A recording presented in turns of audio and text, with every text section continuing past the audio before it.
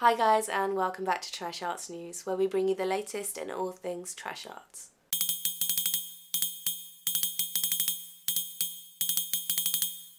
Today we bring back that segment you've seen a few times before, it's Trash Artists, where we look at talent from behind and in front of the screen.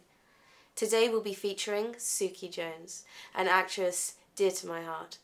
Suki Jones has been working with Trash Arts since 2014, her first appearance being The Animals. Suki Jones also features in the making of, Maniacal, Trash Arts Killers, and many more. Well, I got into acting um, initially because we went to a stage school when we were kids, and to pay for my ballet lessons, we used to I used to do film extra work. So I was in things like Pickwick Papers and Yellow Balloon. Uh, so that was then, and then when I went to school, I liked it. Always got good parts at school. And then some years later, after I left school, I joined amateur groups. Forgot about it for many years until I moved to Portsmouth. And I didn't know anybody here so I thought well I'll do something that I love doing and that is acting.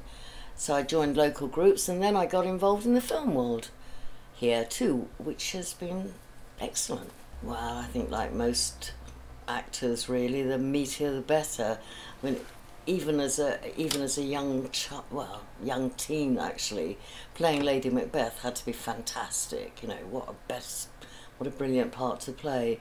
Strong roles for women, I think. Um, I more recently I did um, play the Snow Queen as a big, bossy sort of Anne Robinson type character. That was good fun. Got serious amounts of booing. That was in a pantomime.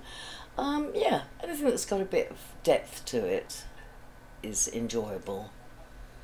I have to say I enjoy doing the film the film work too because that is uh, it's it's very intuitive. I think you're you're given something to grab hold of and you work with it possibly with your own words, and you can bring out a lot in that.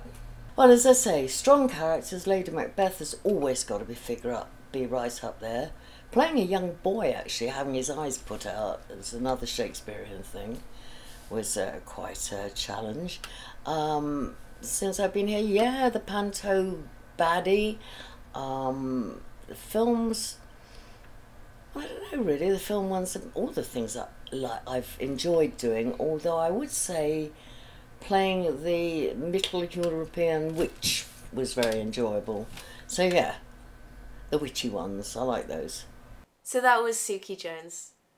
Thank you guys again for tuning in to Trash Arts News. For daily updates, don't forget to like and subscribe, and I'll see you tomorrow.